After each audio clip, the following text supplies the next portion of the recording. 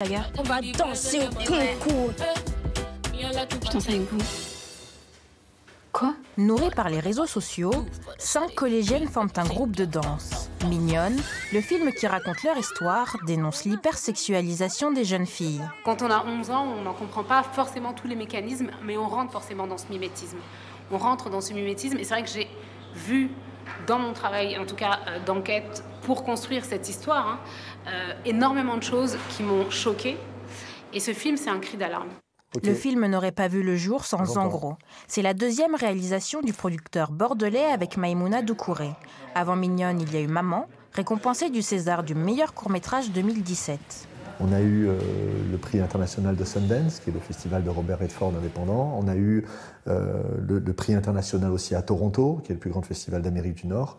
On a eu en tout à peu près 54 prix. On a eu 54 prix internationaux et 200 sélections au festival. Mignonne est nommée dans deux catégories meilleur premier film et espoir féminin pour Fatia Youssouf, remarquable dans son premier rôle au grand écran. Mais oh, t'es méchant. Vraiment, on a quel âge? T'es chiant. On a 11 ans. Multiprimé par les professionnels du cinéma du monde entier, le long métrage était au cœur d'une polémique aux États-Unis. La raison, l'affiche jugée trop provocatrice. Parce qu'il y avait une affiche un petit peu maladroite de la part de Netflix qui, qui était sortie et qui ne ressemblait d'ailleurs pas du tout à notre affiche française, euh, qui a été mal interprétée. Et donc on s'est retrouvé avec euh, une, hystérie de la part de l'extrême droite euh, américaine. Ça a été compliqué à vivre quand on, on a reçu plus de 1500 menaces de mort. Le tourbillon médiatique passé, l'équipe espère être jugée ce soir sur le film et non sur l'affiche.